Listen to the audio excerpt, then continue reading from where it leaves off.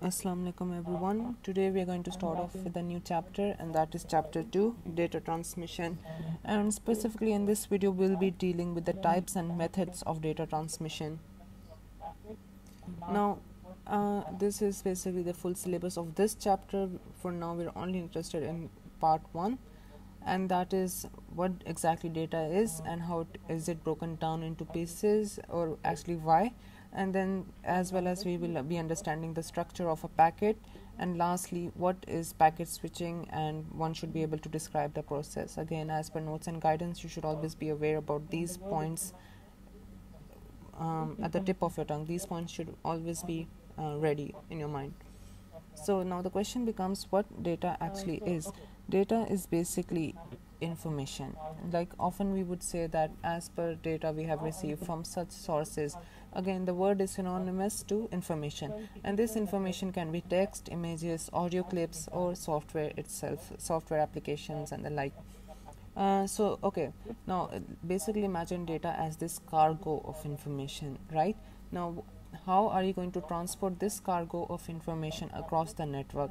Well, the easier method and the one that actually had to be done in order for anything to work was by the use of data packets this cargo is divided into packets and they may be called as datagrams. Uh, you should be aware of this term in the off chance that a question comes regarding it. And these packets of data, these pieces of the cargo, are transmitted over long distances. Now, why would you divide this cargo into pieces? There are a few reasons for this, and it is for the best that you should be aware of this in order to understand the concept of data packets and exactly why are we even using them and that is because they can accommodate various bandwidths now let's suppose you have this cargo of information and it is uh, let's say 100 megabytes worth okay?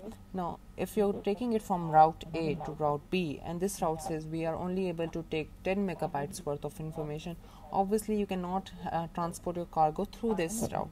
Now it may be possible that this is the only route that can be used or it's the only route that is free or, or i should say available you could let's say have another route but this route is entirely filled with traffic.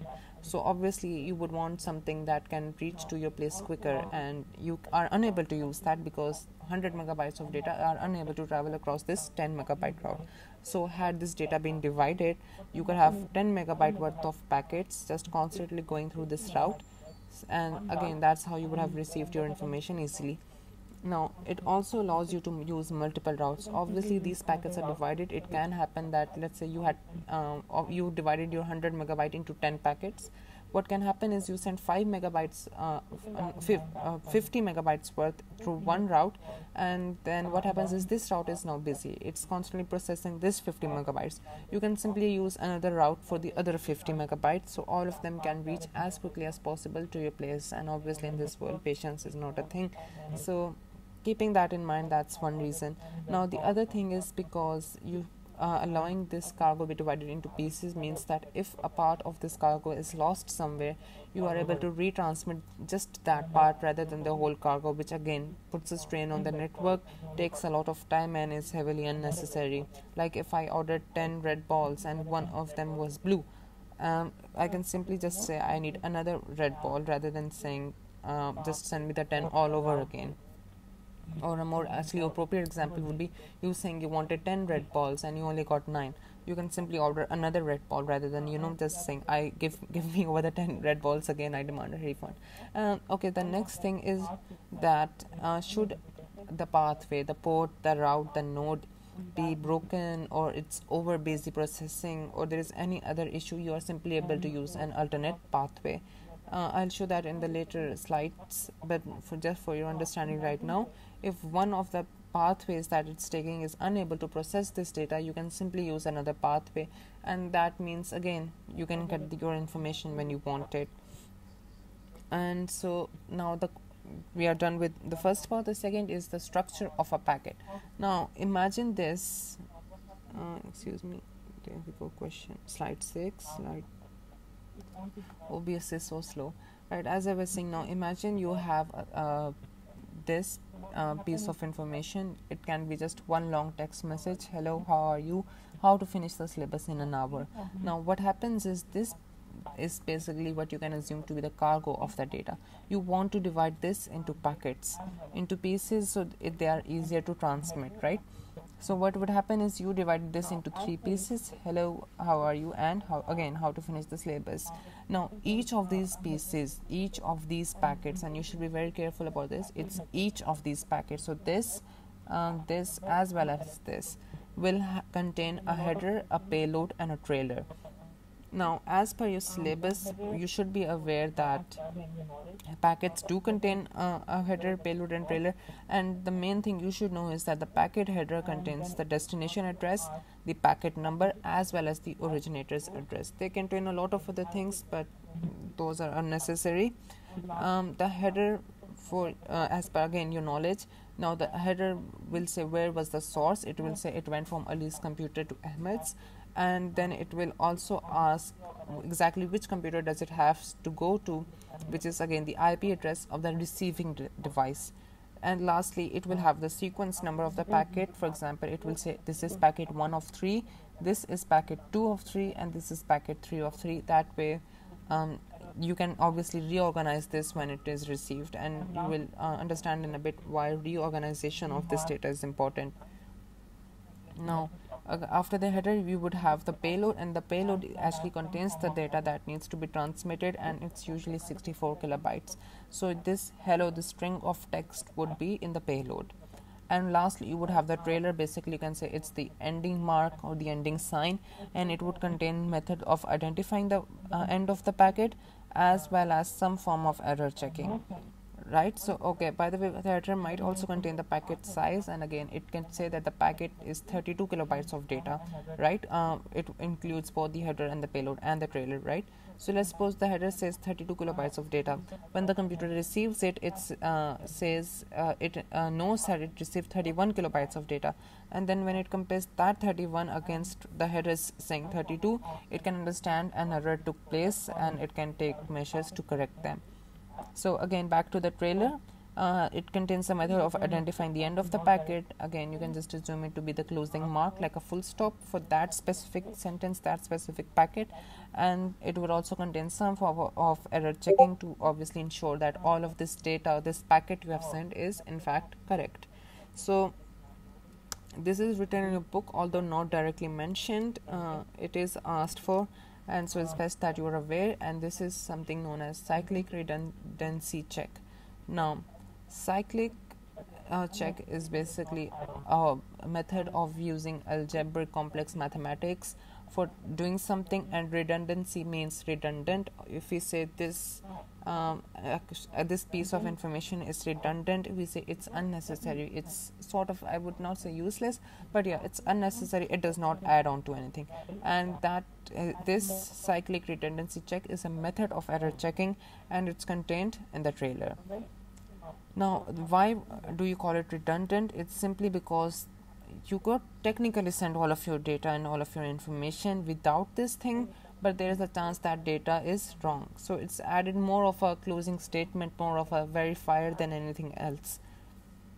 All right so now what happens in this is let's assume in the payload you had written hi and this is uh, hi written in unicode. Um, what would happen is that the computer adds up all of the one bits in the payload. So this was the payload and it contained the message hi actually let's just remove the apostrophe marks because they are technically their own characters. Now this is h this is i. It would add the number of one bits. So there are total of one two three four five six. There are total of six uh, one bits. Uh, this value would now be stored up in the trailer. Right? So the trailer now says that the payload contained six one digit bits. Or actually it would just yeah it would say uh, the payload contained six one bits. Now when this data is received by another person what happens is that that computer would recalculate the number of one bits in here right? And if this value does not match with the trailer you can be sure that you can be assured that a transmission error has occurred. So again basically the payload would calculate the number of one bits um, the total number of one bits uh, right? And this value is then stored up in the trailer when the when another computer receives it it recalculates the number of one bits and compares it with the trailer. And if they match then all well and good. If they do not then a transmission error has occurred. And lastly uh, part 3 is packet switching. Now again you should be aware about what exactly the syllabus is because that is the main and most important thing. And the process is perfectly described in these one two three five points right? Now I've uh, now why do we use the word switching in here? You will understand in a moment. Uh, let's just go back.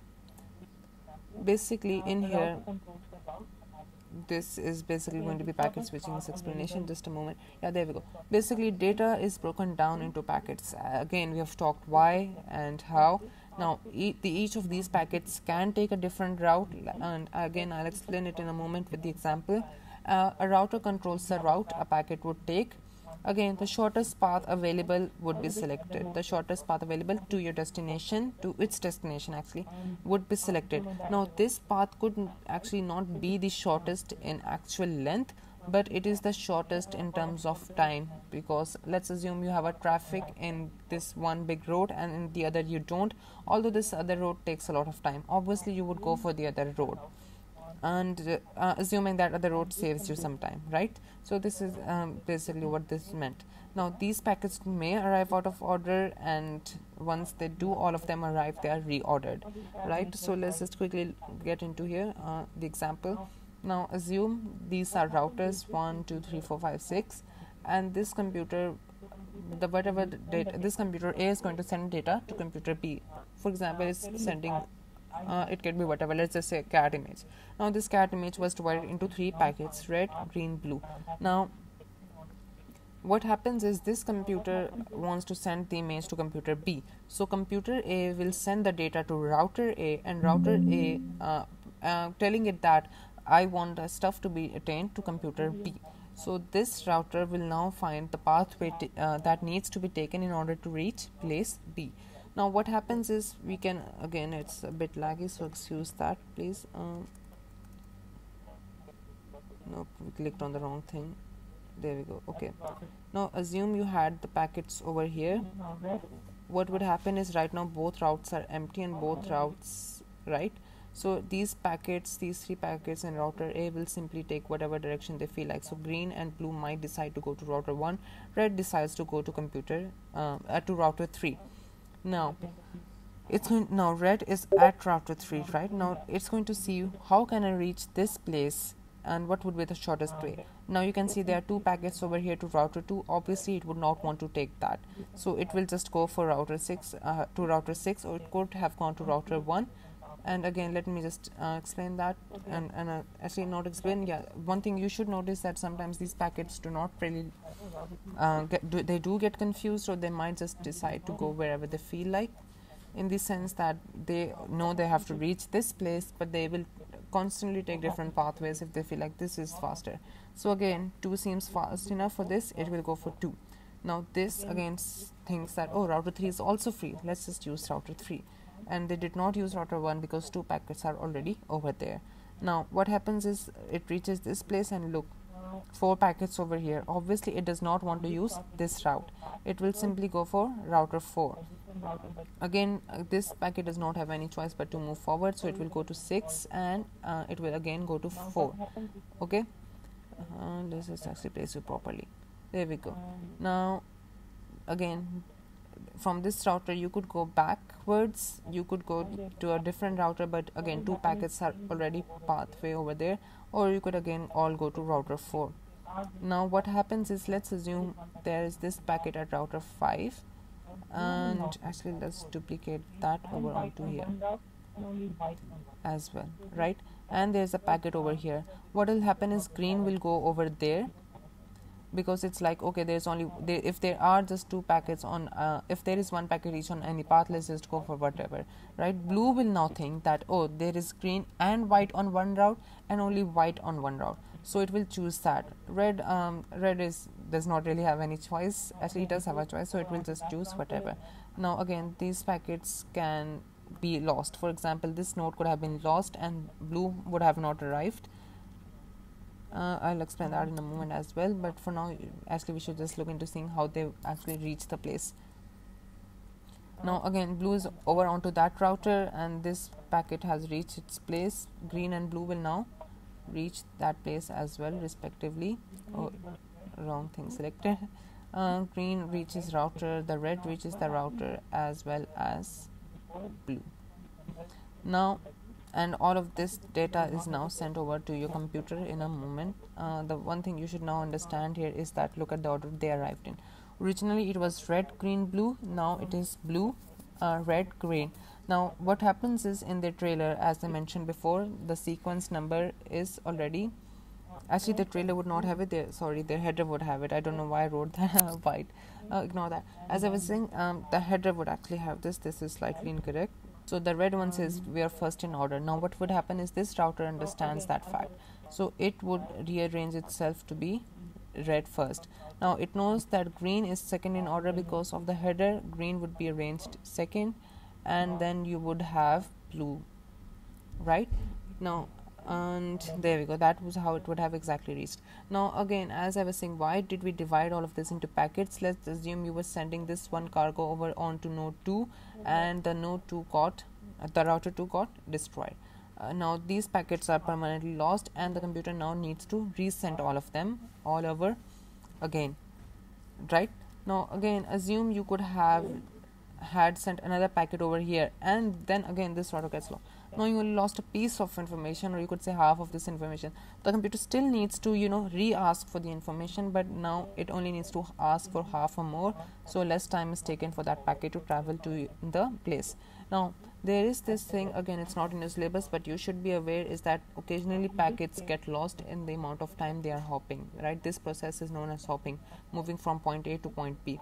Now it moves here here here occasionally there is a chance that it does not move forward or does not attempt to reach its destination. See as per red it's not trying to reach router b. Now in this case again it's not in the syllabus but it is just to clear the concept. There is something known as the limit for the packet hopping. For example it can say that the limit for hopping is 5 now what it means is that from it the packet would now have a digit that saying that the maximum times it can travel is 5 right? So what would happen is that let's assume it went here that's one. So it would now the it would say that it can tra- travel only four more times. Now it ha- can travel only three more times. Uh, there we go. Now it can travel only two more times now only one more time and now it cannot travel. Now what happens is there we go. It reached 5 and now it can say it, it cannot travel any more times this router here will simply destroy this packet. Why is it done? It's done simply because there's a chance this packet will constantly keep on traveling and traveling and never reach the place. Or it would take hours or a great amount of time on end to try and reach that place. So that packet is simply destroyed. So that way the network is not locked. Because assume you have thousands millions if not billions of packets constantly going through a route. And if they constantly just keep uh, going from one place to another without trying to reach the destination. Obviously they are taking up space and the traffic and the processing time but they are not doing anything beneficial or efficient or useful. So that was uh, something known as packet hopping. Again not directly mentioned in your syllabus but something just to help clear your concept. Right with that we come to an end of this chapter. In case you have any query you can simply comment down below.